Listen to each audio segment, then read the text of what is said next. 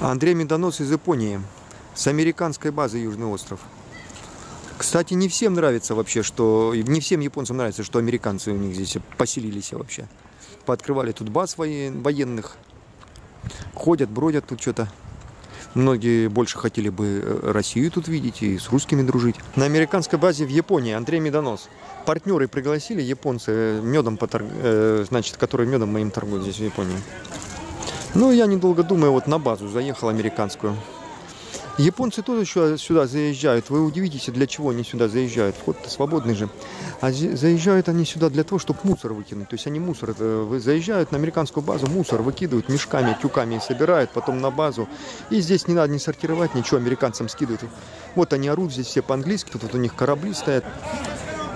И, значит, бегал по этим базам, снимал видео и вел репортаж. И снимал я там все. И по авианосцам бегал, и, значит, там, ну, ходил так важно. Незаметно снимал, незаметно так, знаете, держу. Ну, видели, наверное, это мои ролики в Ютубе. Так незаметно снимал, хожу, снимаю, значит.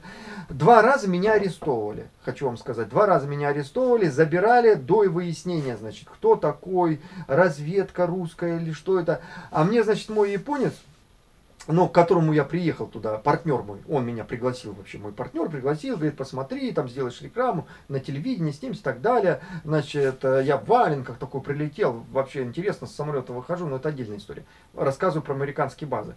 Вот, я его попросил, завези меня на американскую базу и ну, покажи мне, как туда пройти незаметно. Вот этого прошел и снимал там видео, значит. Кстати, японцам тоже эти базы очень интересно, для чего они нужны, там это тоже хохма, это вообще отдельная. Вот. Меня два раза арестовали, отбирали полностью мой, значит, весь фотоаппараты. Вот это вот э, до выяснения от, э, всех обстоятельств у меня отняли американские э, вот эти службы военные. У меня отняли все мое оборудование. Ну, там фотоаппарат, просто Canon такое видео снимать. И GoPro я снимал.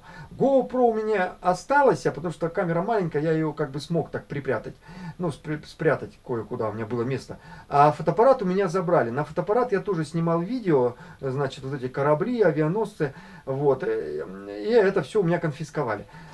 Значит, после того, когда, они вы, когда он мне дал телефон, то есть японец, мой партнер, он мне дал телефон и говорит, эту кнопку одну нажимай, и я сразу приезжаю. Ну, ну, то есть вызов там, он мне показал, как работает, вызов нажимаю, и он приезжает. Я ему говорю, где нахожусь, он приезжает. Вот я ему нажимаю кнопку, на авиабазе нахожусь. То есть меня, короче, схватили американцы. Он такой приезжает ко мне туда, Значит, и меня выручает, объясняет этим американцам, ну, э, значит, им объясняет это, что, значит, я пасечник вообще.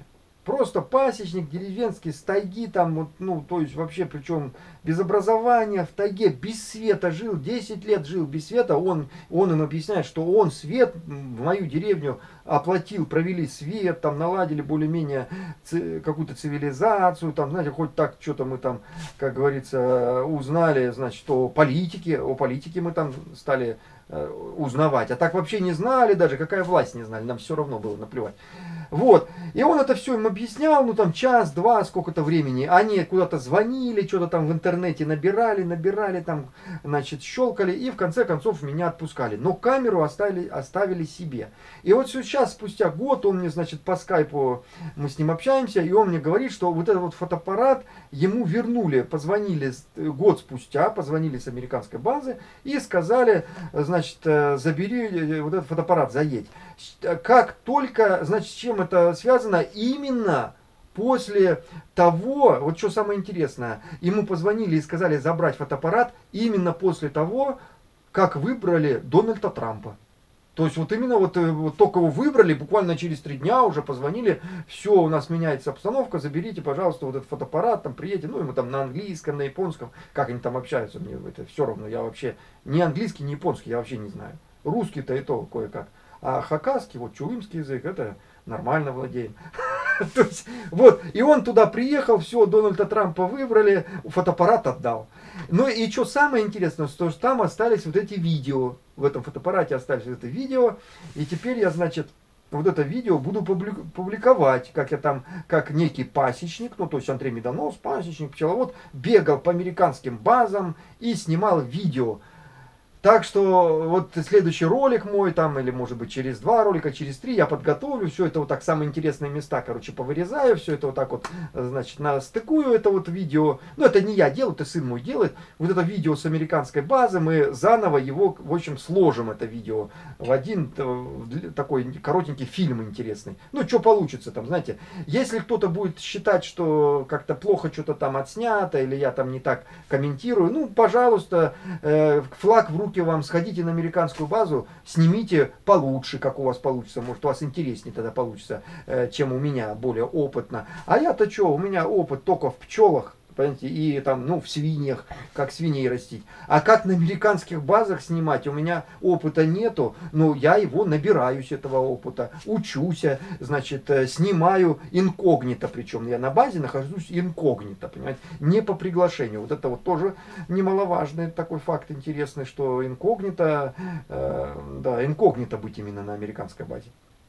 То есть ходить, снимать спортзалы, кухни, авиалайны, авианоцы их, там, как они вооружены, смотреть везде, заходить. Ну, знаете, забавная такая история. Вот, так что выкладываем видео. Э, Андрей Медонос на американской базе. Или так, невероятные приключения Андрея Медоноса на американских базах в Японии.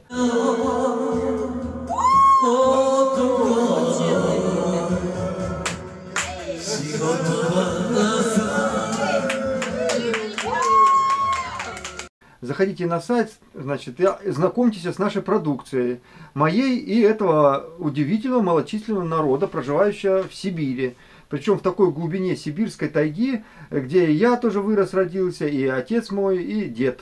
А прадед тот уже был у нас, значит, э, с Белоруссии мой прадед был специально пришел, поселился в Сибири еще до революции, еще до Столыпинской реформы.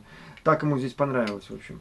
Занимался вот с чулымцами, он с этими, раньше их называли исачных, оказывается, назывался с ними, наз, занимался с ними бортеводством, э, учился от них бортеводству, а их учил, наоборот, стационарной пасеке.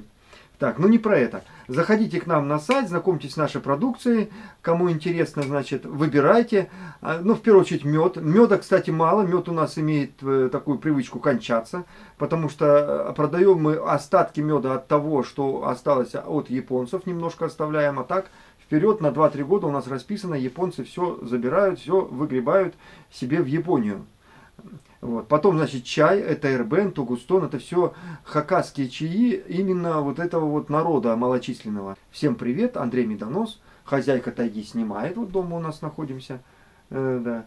э, деревня Пасечная, Тюхтецкий район. Э, японская песня караоке называется «Нет зонта».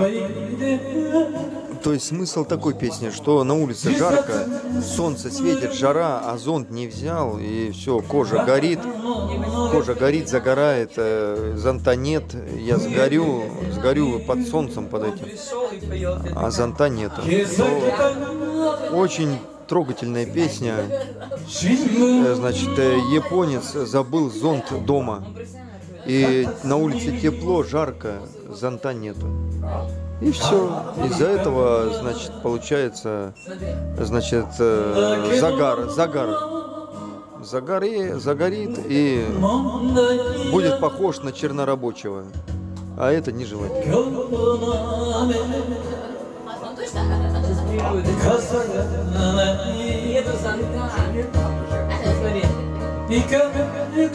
Вот э, даже показывают сейчас на видео, что значит э, титры идут на японском. Солнечная погода, очень яркая солнечная погода, погода ясная. И он не может прийти, потому что нету зонта. То есть э, не, не сможет он к любимой прийти, потому что нет зонта, он не сможет прийти к любимой. Гореть под солнцем от жары, сгорать. Кожа лопается, пузырится, э, коричневый загар. Вообще для японцев это великий позор быть загорелым. Это очень плохо.